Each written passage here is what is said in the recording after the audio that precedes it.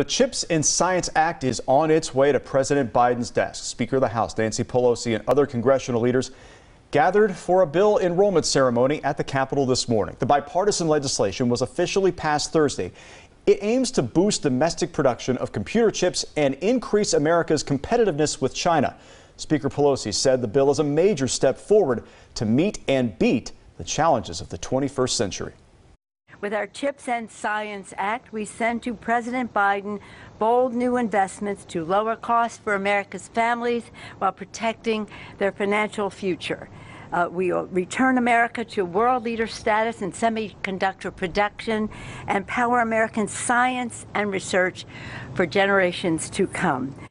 And President Biden is expected to sign that bill into law. And now that Congress has passed the $80 billion CHIPS Act, it's full steam ahead for Intel's massive investment right here in Ohio. Ohio's elected officials say it's not just the biggest investment in industry in the state's history, it's also a critical investment for the entire country. NBC4's Alan Henry has been digging into the CHIPS Act and what it means for Intel in Ohio. Alan, what'd you find out? Well, Jared Jin, Intel's CEO, has not been shy about his long term plans here in Ohio. Now, a big piece of that puzzle, the CHIPS Act, is in place to make that goal a reality.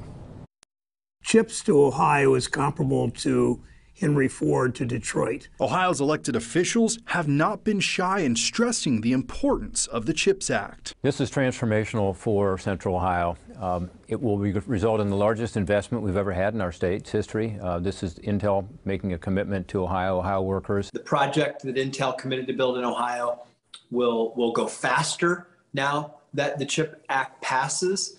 And now it'll be on all of us to make sure that we can build the infrastructure and the workforce to keep up. The project won't just be built faster, it has the potential to be a lot bigger. Phase one are two chip fabs. They would consider building three more phases, the same size, $20 billion, and a packaging facility. And they have the land to be able to do that. So that was what their dream and vision was. They've committed to phase one. The CHIPS Act makes it more likely that, that phase two and beyond will occur. That's more than 100,000 new jobs and $100 billion of investment. And that doesn't include ancillary jobs like teachers or restaurant workers. So is Ohio ready? No, we're not ready for it, but we will be. I say it like that because, because we've never had this kind of event occur in our state. Now, it's unclear when President Biden will sign the CHIP Act into law. I also asked the Lieutenant Governor when the rescheduled groundbreaking ceremony will be. He didn't have a firm timetable for that yet, just saying it'll be soon, but he did add crews have already broken ground at the Intel site. Local for you, Alan Henry, NBC4.